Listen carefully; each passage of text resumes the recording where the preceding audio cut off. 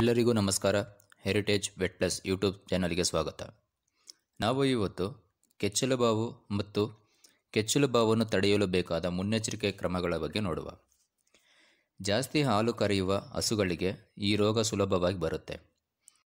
ಸೂಕ್ತ ಜೀವಿಗಳು ಮೊಳೆ ಮೂಲಕ ಕೆಚ್ಚಲುಗೆ ಹೋಗಿ ಕೆಚ್ಚಲು ಬಾವನ್ನು ಉಂಟು ಮಾಡುತ್ತೆ ಕರುವಿಗೆ ಜನ್ಮ ನೀಡಿದ ಮೊದಲು ಎರಡು ತಿಂಗಳಲ್ಲಿ ಕೆಚ್ಚಲು ಬಾವು ಬರುತ್ತೆ. ಹಾಲಿನ ಬಣ್ಣ ಮತ್ತು ಹಾಲಿನ ಗುಣವನ್ನು ನೋಡಿ ಈ ರೋಗವನ್ನು ಪತ್ತೆ ಹಚ್ಚಬಹುದು ಕೆಚ್ಚಲುಬಾವು ಇರುವಂಥ ಹಸುಗಳಲ್ಲಿ ಹಾಲು ಕರೆಯೋದು ಕಡಿಮೆ ಆಗುತ್ತೆ. ಇದರಿಂದ ರೈತರಿಗೆ ಆರ್ಥಿಕ ನಷ್ಟ ಉಂಟಾಗುತ್ತೆ. ಹಾಲು ಕಡಿಮೆ ಕರೆಯುವ ಹಸುಗಳಿಗಿಂತ ಹೆಚ್ಚು ಹಾಲು ಕರೆಯುವ ಹಸುಗಳಲ್ಲಿ ಈ ರೋಗ ಬರುತ್ತೆ. ನಾಟಿ ಹಸುಗಳಿಗಿಂತ ಮಿಶ್ರತಳಿ ಮತ್ತು ವಿದೇಶ ತಳಿ ಹಸುಗಳಲ್ಲಿ ಈ ರೋಗ ಹೆಚ್ಚು ಬರುತ್ತೆ. ಇದರಿಂದ ರೈತರಿಗೆ ಆರ್ಥಿಕ ನಷ್ಟ ಉಂಟಾಗುತ್ತೆ. ಈಗ ಕೆಚ್ಚಲು ಬರಲು ಕಾರಣಗಳು ಏನು ಅಂತ ನೋಡುವ.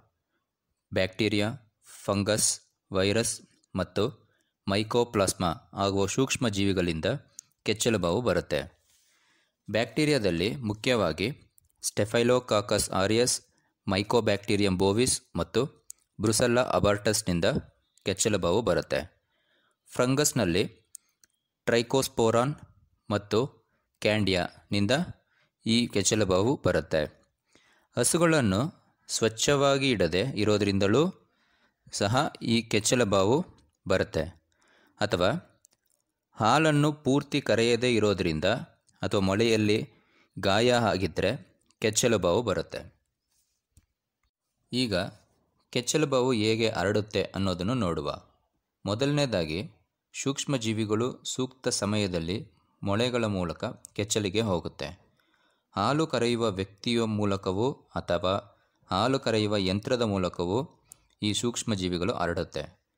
ಮೊಳೆ ಒರೆಸುವ ಬಟ್ಟೆಯಿಂದಲೂ ಸಹ ಈ ರೋಗ ಹರಡುತ್ತೆ. ಈ ಸೂಕ್ಷ್ಮ ಜೀವಿಗಳು ನೊಣ ಮತ್ತು ವಾಹಕಗಳ ಮೂಲಕವೂ ಸಹ ಹರಡುತ್ತೆ. ಈ ಸೂಕ್ಷ್ಮ ಜೀವಿಗಳು ಇರುವಂಥ ಹಾಲು ನೆಲದಲ್ಲಿ ಚೆಲ್ಲೋದ್ರಿಂದಲೂ ಈ ರೋಗ ಹರಡುತ್ತೆ. ಇದರಿಂದ ಬೇರೆ ಹಸುಗಳಿಗೂ ಸಹ ಈ ರೋಗ ಬರುತ್ತೆ. ಈಗ ಕೆಚ್ಚಲು ಬಾವನ್ನು ನಿಯಂತ್ರಿಸುವ ವಿಧಾನಗಳ ಬಗ್ಗೆ ನೋಡುವ. ಹಸು ಕರುವಿಗೆ ಜನ್ಮ ನೀಡಿದ ತಕ್ಷಣ ಶುದ್ಧವಾದ ಸ್ಥಳಕ್ಕೆ ಬದಲಾಯಿಸಬೇಕು. ಹೆಚ್ಚು ಹಾಲು ಕರೆಯುವ ಹಸುಗಳಿಗೆ ಕಾಂಕ್ರೀಟ್ ನೆಲ ಸೂಕ್ತವಲ್ಲ. ಇದರಿಂದ ಮರಳು ಅಥವಾ ಒಣಹುಳ್ಳನ್ನು ನೆಲದಲ್ಲಿ ಮೇಲೆ ಹಾಸಬೇಕು. ಏಕೆಂದರೆ ಅದರಲ್ಲಿ ಬ್ಯಾಕ್ಟೀರಿಯಾಗಳು ಕಡಿಮೆ ಇರುತ್ತೆ. ಹಾಲು ಕರೆಯುವ ಮುಂದೆ ಮತ್ತು ಕರೆದ ನಂತರ ಸೋಂಕು ನಿವಾರಕ ಮೂಲಕ, ಅಂದರೆ ಶೇಕಡ ನಾಲ್ಕರಷ್ಟು ಪೊಟ್ಯಾಷಿಯಂ ಪರ್ಮ್ಯಾಂಗನೇಟ್ ದ್ರವದಿಂದ ಹೊರಸಬೇಕು. ಹಾಲು ಕರೆಯುವ ವ್ಯಕ್ತಿಯೂ ಸಹ ನಾಲ್ಕು ಪರ್ಸೆಂಟ್ ಪೊಟ್ಯಾಷಿಯಂ ಪರ್ಮ್ಯಾಂಗನೇಟ್ನಿಂದ ಕೈನ ತೊಳ್ಕೋಬೇಕು. ಹಾಲು ಕರೆಯುವ ವ್ಯಕ್ತಿ ತನ್ನ ಉಗುರನ್ನು ಟ್ರಿಮ್ ಮಾಡ್ಕೋಬೇಕು. ಇದರಿಂದ ಮೊಳೆಗೆ ಯಾವುದೇ ಥರ ಹುಣ್ಣು ಆಗೋದನ್ನು ತಡಿಬೋದು. ಕೆಚ್ಚಲು ಬಾವು ಇರುವಂಥ ಹಸುವನ್ನು ಬೇರೆ ಹಸುಗಳಿಗಿಂತ ದೂರ ಇಡಬೇಕು.